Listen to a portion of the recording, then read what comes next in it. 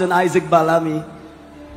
But just before he continues, one more time, can you please honor and celebrate Apostle one more time?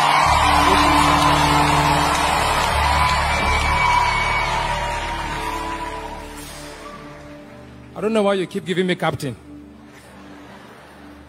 Um, like I was saying, I came from an from a very very humble background, so I'll make it very quick. Uh, I'm an activist, and then suddenly, after some SUG riot, I was asked to leave ABU Zaria. I was depressed. I felt like committing suicide because that was the second admission I was losing just fighting for people's rights. And then about 16 years ago, in ABU Zaria at the chapel, Apostle saw me praying with my team about 16 years ago, and he said, Isaac, then I wasn't even given an admission yet into Aviation College.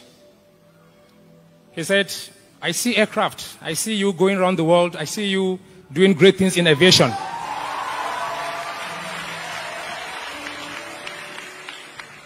That was about 16 years ago.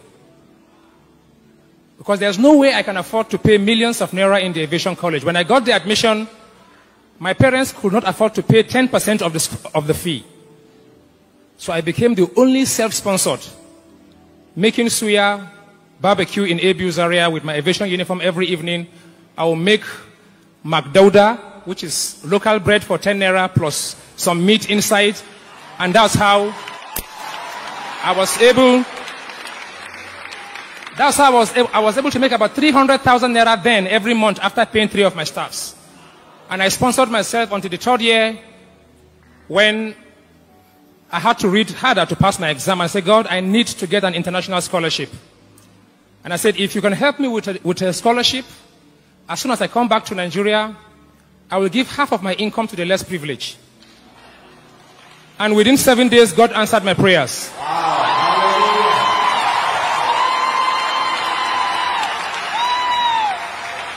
I got three scholarship international.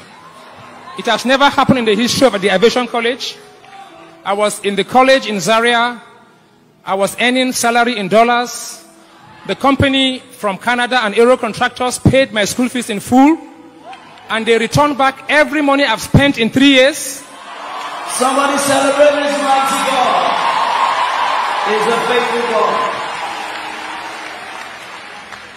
Before I knew it, I got a house in GRA, Ikeja in Lagos. My flight ticket, everything paid for till I graduated. I went to the US, sponsored by the company CAE Canada and Aero Contractors.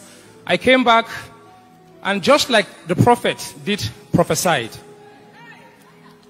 In less than two years, at about 25, 26 years old, I had become the national president for all the pilots and all the aircraft engineers in Nigeria. Thank you, Jesus. It didn't just stop there. The then Cecilia Ibru, who was the owner of Aero Contractors and Oceanic Bank, met me one day and I was able to get, the, get a contract for the company. And I was just a junior staff. And she ordered that I should be moved to the board. I should join the board immediately. Before I knew it, I became a manager and virtually all my age mates in the industry, I gave them 24 years gap in earnings and in position. Before I knew it, I began to see some things in the industry when I go to bed.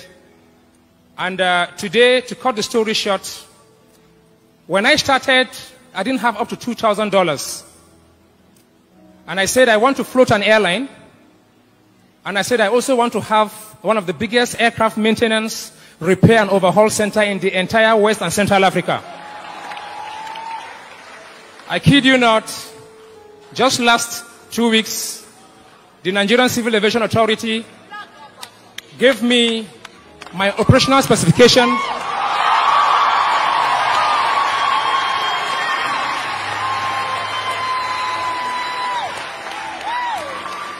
They said initially, you can't have this, it's too much. Nobody in West Africa have this kind of license and certifications and authorizations. I said, but my aim is to create jobs for the industry. Over a billion dollars is being spent every year flying aircraft to Europe, America to be fixed. And I stood and I thank God for the Nigerian government, the aviation minister, the uh, DG of the civil aviation, and the director of airworthiness. They saw the vision. Just two months to closing it all when I was getting ready for the phase four, which is the base inspection where the government need to see the equipment you have on each aircraft that you'll be fixing up to A, A B, C, D check inspection. And I was stuck. Some investors pulled out on me because they felt the vision was too big.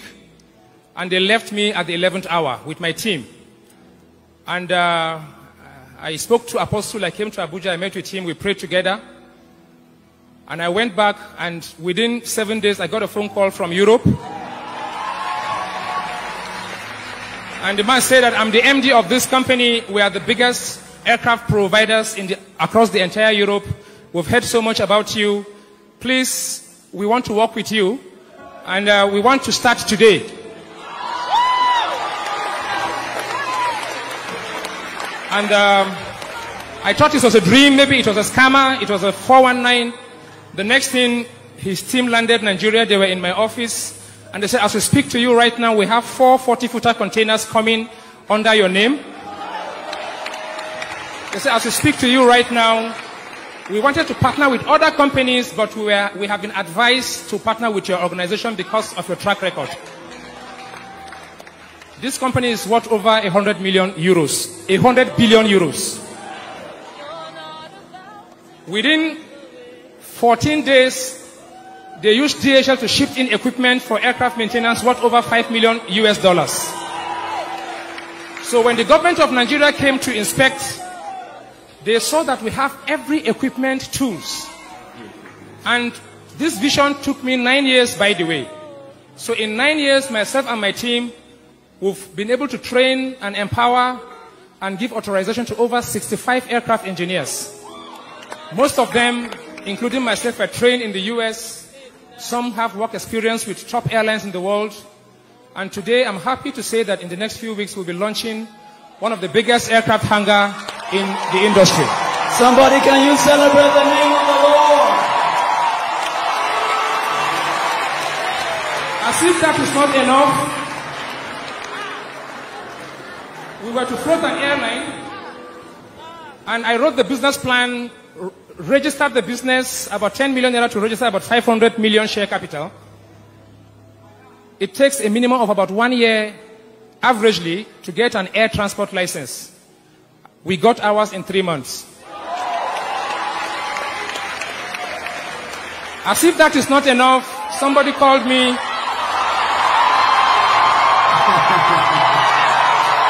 the God of more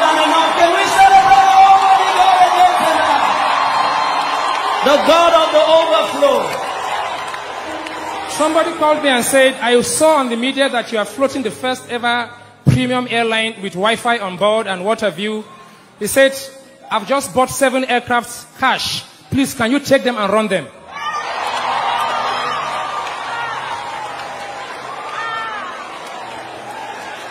As if that is not enough,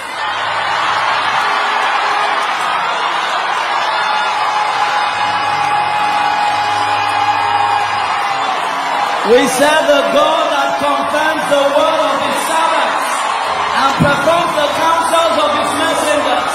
Can you celebrate the grace of God upon this ministry one more time? Hallelujah. Somebody said, since you have interest in the oil and gas helicopter business, he said, I'm meant to take these three helicopters out of this country. Each one is 22 million US dollars. That is, for, that is 66 million US dollars. Please, can you take them and run them? Just few weeks ago, my vision has always been the same way I came from nowhere to get to where I am today. How can we raise aircraft engineers, pilots, avionics, and in different fields that with just two years training, they will be able to have a license and a certification that will earn them $10,000 a month. Just a few weeks ago, we got an approval, a letter that the Lagos State government and NBTE, that is the uh, polytechnics, they have also allowed us to go ahead to start Seven Star Global Institute of Management, Science and Technology. The aim is to raise aviators and other people across different sectors. Why am I sharing this testimony? I'm not here to impress anybody. I was meant to do this long time ago, but I always feel heavy, but I felt there's somebody out there who just feel like giving up. I can tell you categorically, nine years, even a pregnant mother, after nine months, if the baby is not coming out, she's agitated. Severally, I almost thought of committing suicide. Severally, I felt like leaving this country. But I said, no, God, you said I have a role to play in this country. Why should I leave? And just when I want to leave, I'll be given offers across the globe, and then something says stay. I'm happy today that through the help of God, and even through the apostle, we are not just in Lagos airport, we are occupying over 45,000 square meters of land. And we are growing very, very fast. I thank God, I give God all the glory, and I want to assure you that whatsoever it is that is your dream, no matter how big it is, don't give up. Don't give up. Don't allow friends and families or anybody to distract you. Remain focused. Trust in God. I'm happy I was able to achieve this with my team without joining any cult, without denying Jesus. Thank you very much.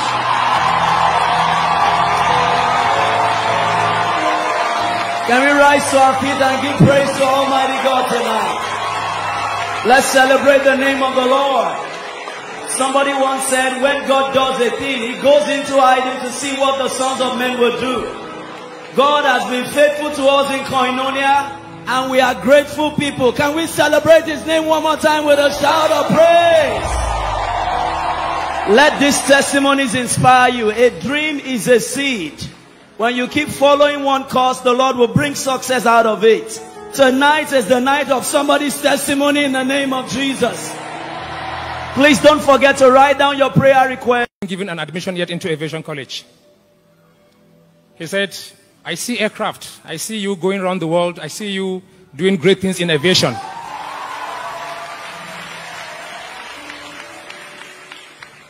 That was about 16 years ago. Because there's no way I can afford to pay millions of naira in the aviation college. When I got the admission, my parents could not afford to pay 10% of the, of the fee. So I became the only self-sponsored, making suya, barbecue in ABU Zaria with my aviation uniform every evening. I will make magdauda, which is local bread for 10 naira plus some meat inside. And that's how I was able that's how I was, I was able to make about 300,000 naira then every month after paying three of my staffs. And I sponsored myself until the third year when I had to read harder to pass my exam. I said, God, I need to get an international scholarship. And I said, if you can help me with a, with a scholarship, as soon as I come back to Nigeria, I will give half of my income to the less privileged. And within seven days, God answered my prayers.